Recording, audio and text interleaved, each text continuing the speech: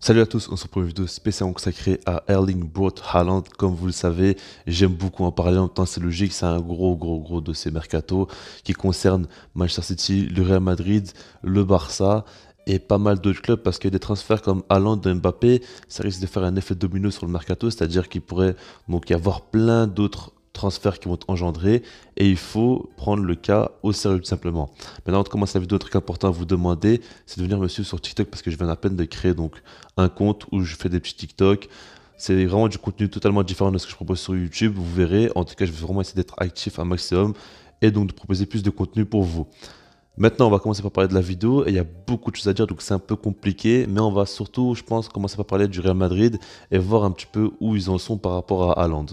Donc, comme vous le savez, le Real Madrid, leur objectif, c'est Mbappé. Je vous apprends rien là-dessus.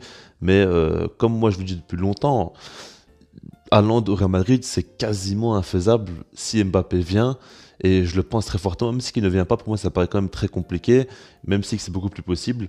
Mais en fait, j'explique pourquoi. Je ne parle pas de l'aspect économique, mais je parle surtout du fait que, comme vous le savez, il y a Vinicius actuellement qui est en train de faire une saison de folie, il y a Benzema qui est dans une très très très grande forme actuellement, et Mbappé qui va arriver. Et comme les infos le disent, tout simplement, le Real Madrid serait plus donc enclin à faire venir Haaland en 2023 parce que le contrat de Benzema sera terminé et donc il pourrait remplacer Benzema. Mais là, le truc, c'est que Haaland serait certainement prêt à partir dès cet été. On ne sait pas encore, mais les infos qui disent qu'il a déjà pris cette décision comme quoi il voudrait quitter Dortmund. Donc on verra bien ce qu'il va décider de faire. On ne sait jamais, hein, mais pour moi c'est quasiment sûr qu'il va quitter Dortmund déjà dès cet été. Et du coup, le Madrid ben, n'y sera pas. En fait, le truc c'est que je me dis que si jamais Haaland rejoint donc Mbappé, Benzema et Vinicius, au-delà du fait que le Ballon d'Or se jouera entre Haaland et Mbappé, bah, comment l'équipe va jouer en fait. Parce que pour moi, c'est impossible que Real Madrid joue à 4 attaquants. Déjà, leur 4-3-3, ils bougent jamais chez eux. Parce qu'on parle beaucoup du 4-3-3 du Barça, mais chez eux, ça fait une décennie qu'on voit que ça. Et surtout que leur milieu de terrain prend énormément de place. Ils aiment beaucoup avoir une pointe basse avec deux euh, qui sont tout simplement Kroos et Modric constamment. Mais du coup, ce que je veux dire par là, c'est que comment tu peux faire jouer Haaland, Mbappé, Benzema et encore Vinicius, qu'est-ce qu'on en fait? Pour moi, c'est pas du tout faisable tactiquement et euh, il va falloir faire des sacrifices simplement. Et je pense pas que les Madrid serait prêt à vendre dès maintenant Benzema ou un Vinicius. Surtout que par exemple, Vinicius a un profil très intéressant pour eux. Donc du coup, j'y crois pas. Et franchement, allons de Real Madrid, pour moi, ça se fera pas. Et euh, comme les infos le disent actuellement, ça se joue beaucoup plus entre Manchester City et le Barça. Alors côté City, il y a des infos qui disent comme quoi Guardiola voudrait à tout prix Haaland. Et euh, d'un côté, ça se comprend, de l'autre côté, ça se comprend pas forcément parce que déjà, ça se comprend par rapport au fait que c'est un joueur vraiment qui pourrait marquer sa génération à Land et qui pourrait mettre énormément de buts, ça on le sait très bien.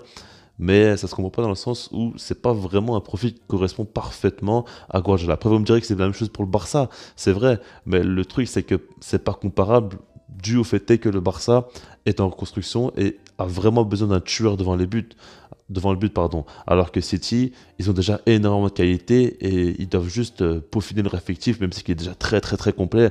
Le Barça c'est totalement différent et c'est une opportunité de marché, comme j'ai déjà dit plusieurs fois, qui est complètement folle à Londres. Donc du coup, par rapport au profil, je pense pas que ça se permettre vraiment de chercher le profil parfait pour tel ou tel joueur.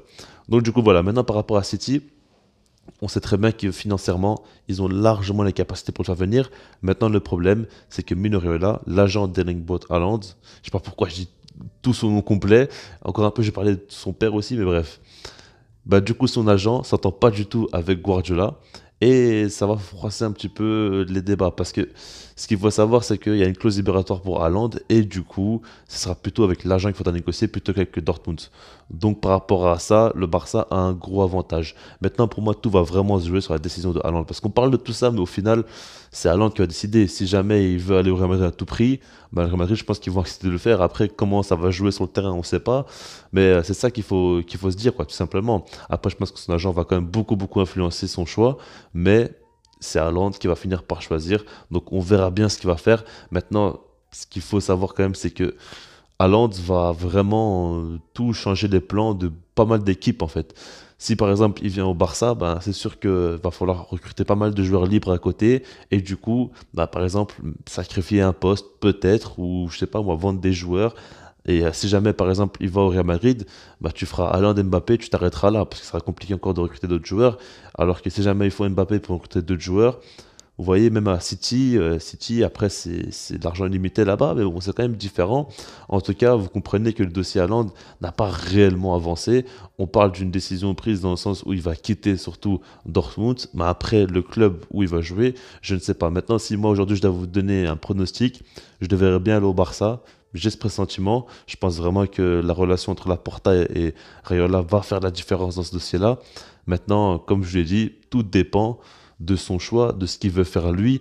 Et je ne vous cache pas que si moi j'étais à la place d'Aland et si je n'étais pas donc un supporter du Barça, que je n'aimais pas ce club forcément, ben, je serais parti automatiquement à City parce qu'ils ont déjà une équipe exceptionnelle à tous les postes. Ils ont des joueurs incroyables. La première ligue, c'est un championnat aussi exceptionnel avec des champions qui font partie des grands favoris. Ils sont largement actuellement en avance sur le Real Madrid et sur le Barça. Partir là-bas, tu t'assures vraiment de, de pouvoir faire des folies. Tu as énormément de choses alors qu'au Barça, c'est la reconstruction, il faudra prendre du temps, il va falloir être patient. Alors qu'à City, tu peux directement performer et tout gagner. Donc c'est ça le truc en fait que je me dis.